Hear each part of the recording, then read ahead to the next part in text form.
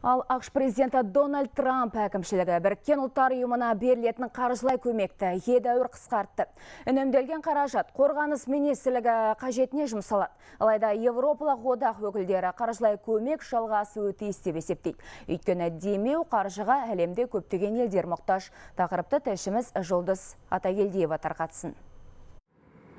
ақш біріккен ұлттар ұйымына қаржылай көмегін аямайтын елдердің бірі де бірегейі халықаралық қауымдастықтың қорына түсетін ақшаның 22 пайызы Вашингтонға тиесілі. Бітімгершілік миссияларының 22 пайызында осы америкалықтар қаржыландырады. Алайда Дональд Трамп қаражатты осылай бөлу әділетсіз екенін талай мәрте айтқан. Осы ретте биыл ақш ұйымға төленетін жарна сомасын 640 миллион долларға қысқартты. Есесіне әскери бюджет көлемін ұлғайтып отыр. Бұған дейін қорған саласын қаржыландыру жағы кемшіндеу болды. Алайда мен сайлауалды науқан кезінде бұл жағдайды өзгертуге уәде еткем. Соның арқасында ақш өзін қауіпсіз сезініп түрлі қауіп қатерлерге төтеп бере алады. Алайда еуродағы өкілдерінің оған айтар өз уәжі бар.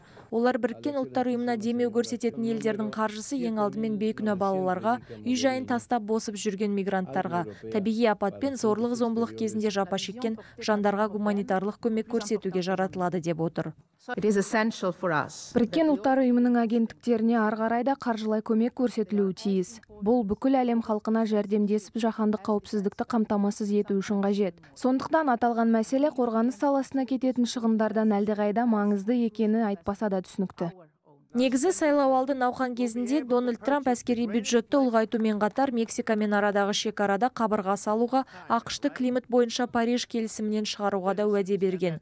Ол сондай ақ экс президент кезінде қабылданған обама кейр бағдарламасын алып тастауды да серт етті.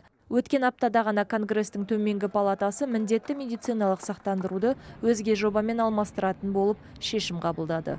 Жұлдыз атагелдиева әсем хасенқызы хабар 24